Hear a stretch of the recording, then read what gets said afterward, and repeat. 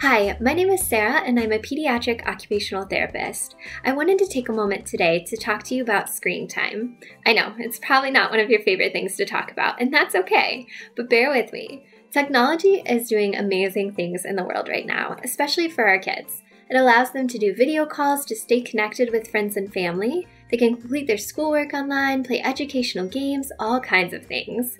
Kids have an amazing ability to learn how to use and navigate technology, but we really need to be cautious on how they're using it and for how long each day. The American Academy of Pediatrics recommends children under 18 months avoid use of screen media other than video chatting. Children between 18 to 24 months can gradually be introduced to digital media using high quality educational programming. Children between the ages of 2 to 5 should limit screen use to one hour per day, including television. Children 6 and older should follow consistent limits on time spent using media and ensure adequate sleep, physical activity, and all the other behaviors to encourage health. The American Academy of Pediatrics recommends creating a family plan for media use. They encourage you to address what type and how much media is being used, and what behaviors are appropriate for each child, teenager, and parent in the household. Place consistent limits on hours of media per day.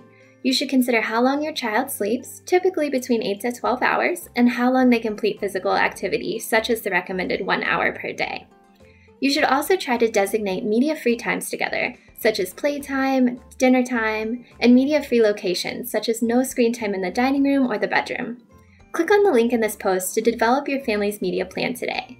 Try replacing some of your current screen time with activities such as reading, teaching, talking, and playing together. Challenge your children to find new ways to play with old toys. Have a competition to see who can find the most ways to play with a random household object, such as a hanger. Just have fun. Thank you for tuning in.